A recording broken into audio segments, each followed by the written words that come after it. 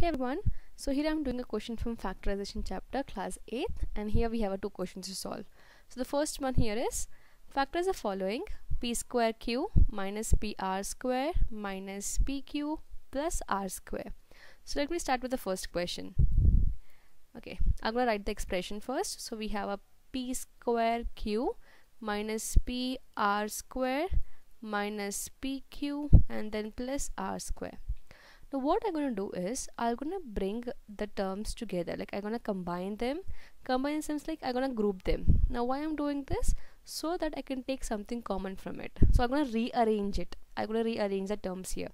Now which one? So here I'll take p square q and I'll take here pq minus pq so that I can take pq and pq common yeah?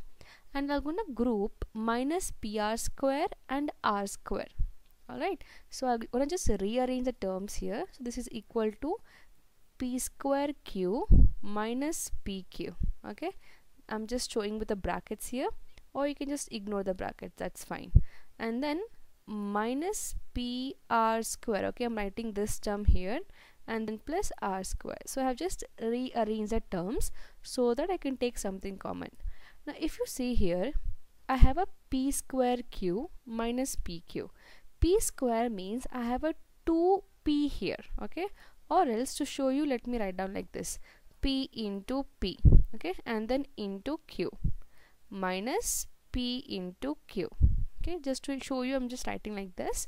And then minus we have pr square. It's like p into r into r plus r square r into r. You don't have to expand them. I'm going to show you how we are taking a common uh, variables here. That's it. All right now if you see the first two first two terms if you observe I can take one P and one Q out from this two. Okay I'm talking about this two only P and Q is here P and Q is here right I can pull out this PQ outside this PQ is common in this uh, two terms so this will become if I take PQ outside so from this part I'm left with this Q. So I'll get here, sorry, not Q, it's P. One P will be left. So I'll get P minus is their sign. So write down this minus sign. Here if I take PQ out, nothing is left. It means 1 will be present there. Okay, it is not a 0. If you write 0 here, the entire term will become 0. So it will be 1.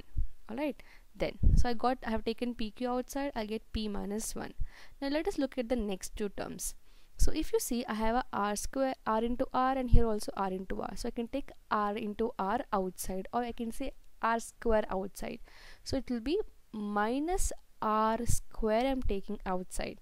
See I've taken minus R square outside as a common. If I take minus outside what is left here? Only P. Now here comes very important step. I cannot write here plus.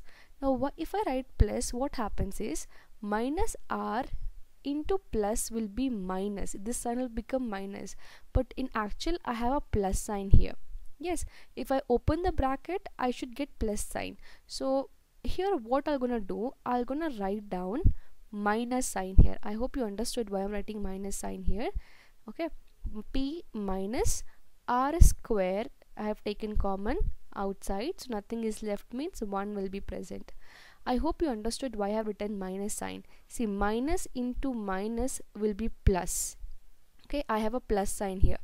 That's why I've written minus what happens is if I write down here plus minus into plus will be minus.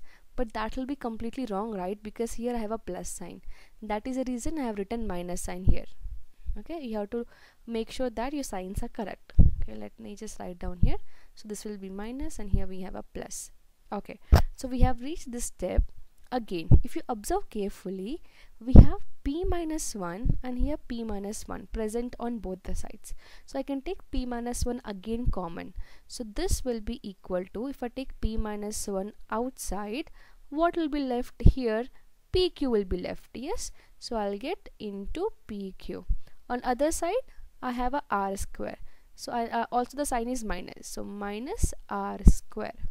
That's it.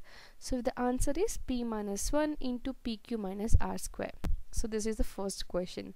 I hope it's clear. Now we'll go move on to the next one. Now the second one is a bit easy because we have all positive signs. Okay. So in the second one let me write the expression. X square plus yz plus xy plus xz again I have to uh, rearrange the terms here so that I can take something common. So I'm gonna do one thing. I'll take this x square I'll take xy I can take x common here. So let me write down here x square plus xy I'm gonna change the color plus this yz okay? Yz plus xz so from yz xz I can take z common. So I'm writing with different colors so it will be easy for you to understand. Now in the first one if you observe I can take like in the previous one I have expanded I'm not going to expand in this case. We have a x square. It means we have a 2x here okay? X into x. And I have a xy so I can take one x common. Only one x I can take okay? Here I don't have a 2x I have only one single x.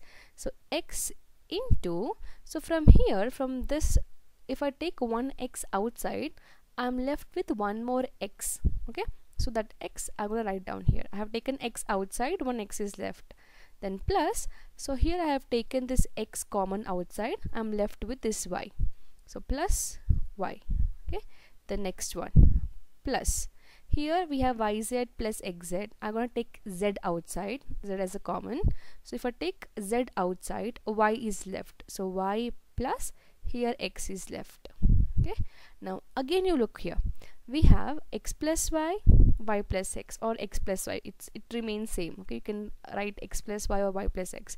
So i can take this x plus y again common as uh, outside. I can pull this common term outside. So i'll get x plus y into so i've taken this x plus y outside. What is left? X is left. X and here i have a plus and if I take this x plus y outside z is left. That's it. So the answer is x plus y into x plus z. So this is a factorization. So I hope it's clear. Now in case you have any question or doubt you can drop a comment below. Thank you so much for watching